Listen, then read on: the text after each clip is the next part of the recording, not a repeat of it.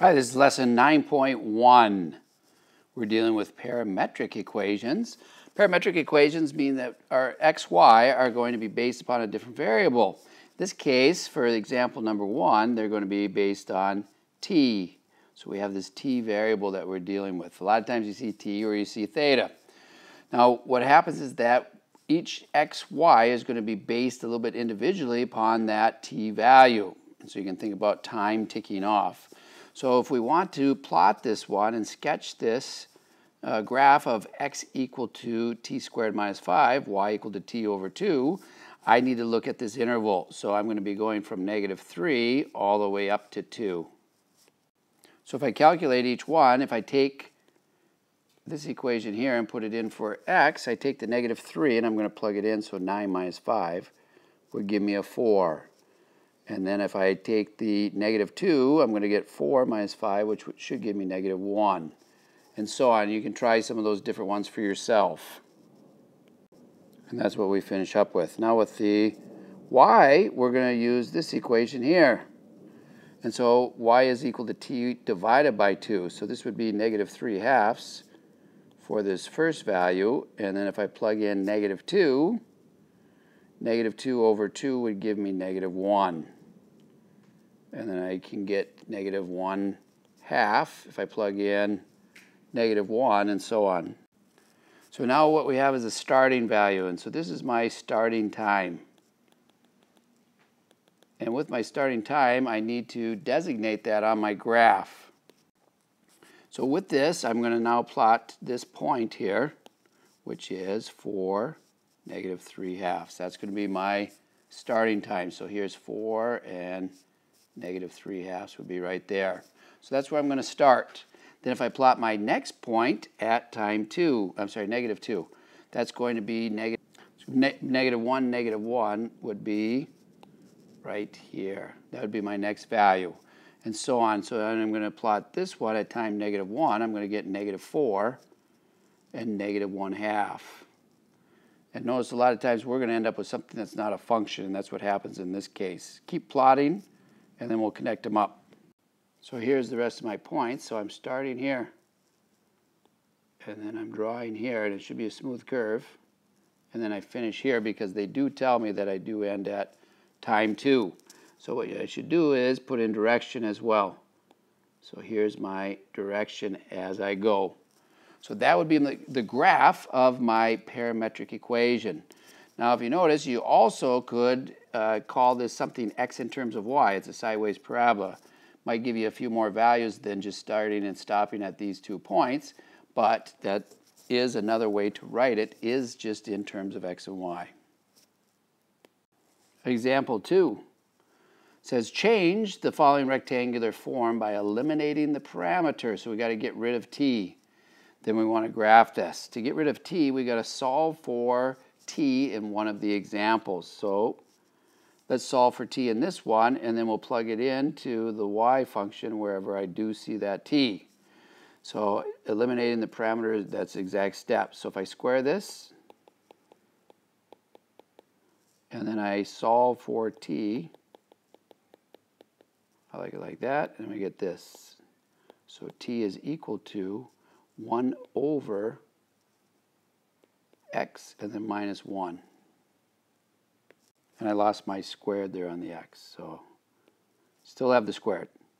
Now I take this and I put it in that chunk wherever I see my t. So if I do this, y is equal to my new chunk, which is 1 over x squared minus 1. And then I have that down here too. It's not pretty, but it is what it is, and then I get a plus 1. So if I simplify this, these go away, and so y is equal to, common denominator on the top, 1 minus x squared all over x squared all over 1 minus x squared.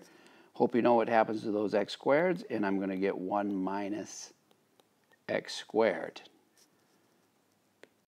Lastly, let's check out our domain situation. They said that we have t greater than negative 1. Look at this, x. Is x ever going to be 0? or less than 0. No, it's not. So this one would be always x is greater than 0. So we need that domain on there. How do we graph this? 1 minus x squared is a parabola and down. And so I'm going to look like this in my graph. And then I'm going to have a hole here because I start at x greater than 0. So that's eliminating the parameter solve for t in terms of one of the variables, and then go plug it into the other equation. Usually we solve for t in terms of x and plug it into the y equation. Example 3 says eliminate the parameter to sketch the curve. Well, I like to sketch these without eliminating the parameter, but we can do it both ways. If I think about x equals cosine of theta and y equal to sine of theta, that is simply a circle with a radius of 1. If I put a 3 in here, that would be a circle with radius 3. Now, with this, I'm going to be stretched out on my y-axis by 3, but on my x-axis by 1. So if I do this, I'm going to have this point, this point, this point, and then this point. It is going to be centered around 0, 0, and I'm going to be like this. Now it doesn't tell me to identify my starting point. It doesn't have a time value, so you can just end up with that. So that's one way to do it. The other way to do it is to realize that uh, if we do want to eliminate the parameter, now I could solve for theta and plug it in, but there is a trick to this one too. A lot of times we start off with a known identity. So the known identity that we do have is sine squared plus cosine squared is equal to 1.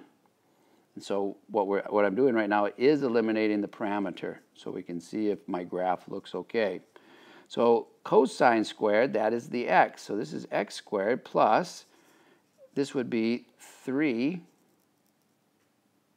I'm sorry, this would be y over 3 quantity squared. And that's equal to 1. Because if I solve here for the sine, I'm going to get y over 3. So y over 3 is equal to sine, so I just plug that in wherever I have that. So now I'm left with x squared plus y squared over 9 is equal to 1. Once again, that's the same ellipse that we do have there. All right, so you can do it either way. How are we stretched on the x and y axis with this? And you can do that as long as you have both the cosine and the sine for each one of the x and y's um, defined. Now, when we look at these things, even though we have equations that are given in terms of a parameter, we still can find dy dx and the second derivative as well by differentiating and then dividing.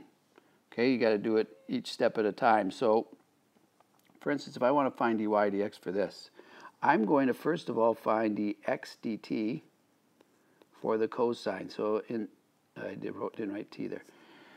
This one here, the derivative of the cosine would be negative sine of t, and that would be dx dt. Now I can go ahead and find dy dt from this one. dy dt is equal to, that would be 3 cosine of t.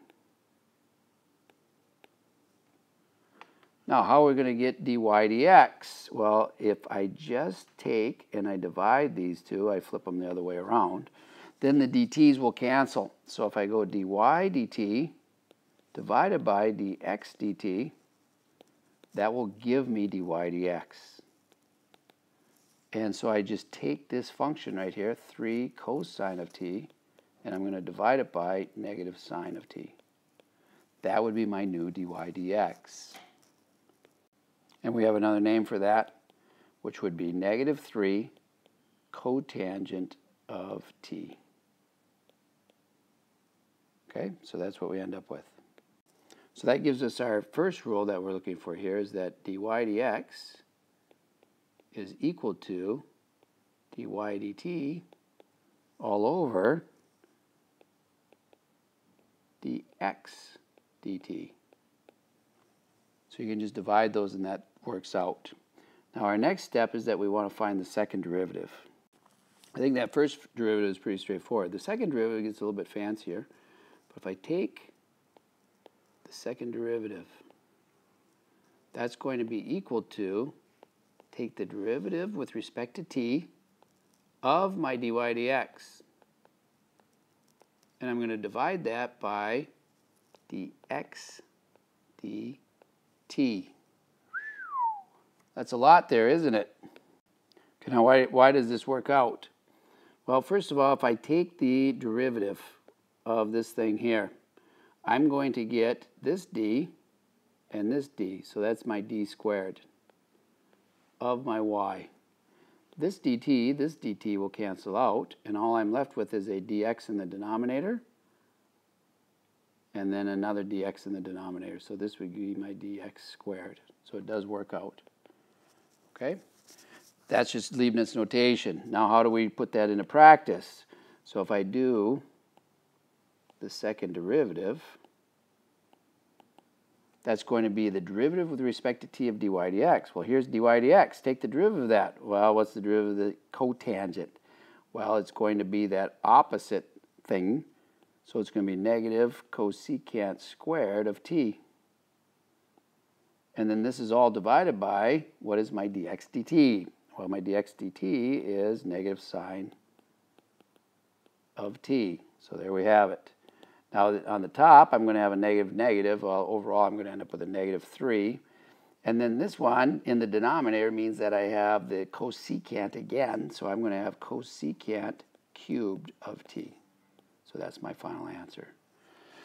so for the derivative, dy dx, just take the derivative of x with respect to t and y with respect to t and then divide the two.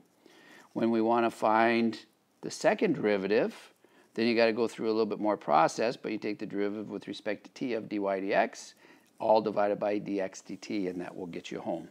All right, so that's the derivative and second derivative. So example number five, what I encourage you to do is pause this one and see if you can go ahead and do this yourself. It's a very similar process to what we just did, but then we do have to make uh, some comments about the slope and concavity at the point 2, 3. So my dy dx is I put the dy over the dx. Don't reverse it, put the y over the x. So I get the 1 half and the 1 half. Those will cancel, so t over t halves. Uh, t to the 1 half would be, and I misspoke there because I still have this 1 here.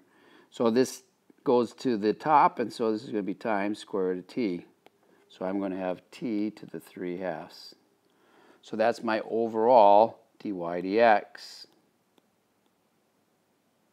So at the point 2, 3, right here, so now this dy dx, it's weird. It's in terms of t. They gave me a point, x and y. So what do I got to do? Well, I got to go find out what this t is. It's not too bad. So if I take this 2 and make it equal to the square root of t, that tells me t is equal to 4. Just for fun, let's take that 3 and set it equal to y. 1 fourth t squared minus 1. Bring the 1 over, I get 4 is equal to 1 fourth t squared. t squared is equal to 16. Voila, t equal to 4. So regardless, t is equal to 4. So my final answer here then is going to be the slope is equal to dy dx evaluated at t equal to 4 is equal to 4 to the 3 halves. Square root of 4 is 2, raised to the 3 is 8. So that would be my slope. Now let's move on to the second derivative.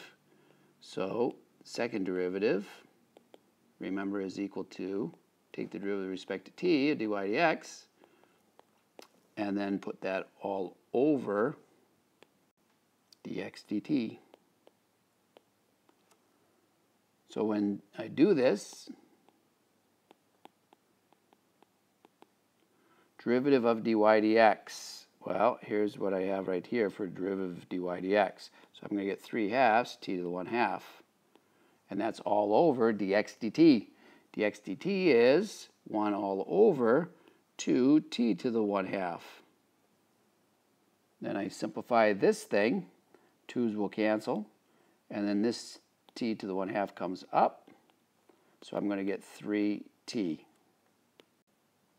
So my concavity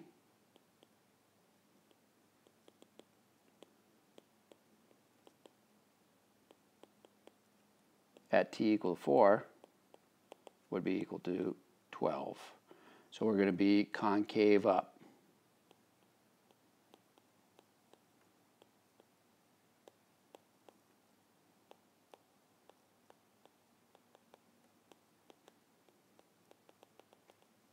Sorry, I had to wait for that writing.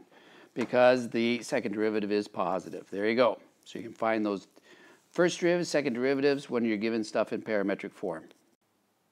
Okay, then example number six asks for the equation of the tangent line. What do you need when you write the equation of a tangent line? You need the slope and you need a point. Slope we get from the derivative. Oh, we need dy dx. So I'm going to let you do this one and come back and check. So I found the slope. You all should have found the slope being negative 1. Now you might say, well, what are the x and y coordinates? Well, they tell you t is equal to 1, so put it in there. So with x, my x value is going to be 0, and then my y value, if I plug in 1 into there, I'm going to get 1 plus 1, which would be 2. So there would be the equation of my line, right? So that is another uh, process that you can do. So for arc length, this is an arc length we did before too, but it was a little bit different formula because it was just dealing with the uh, y in terms of x. Now we have x and y in terms of t. So with this one, arc length is equal to the definite integral from a to b of the square root, so it's very similar to the other one, dx dt, quantity squared plus dy dt quantity squared.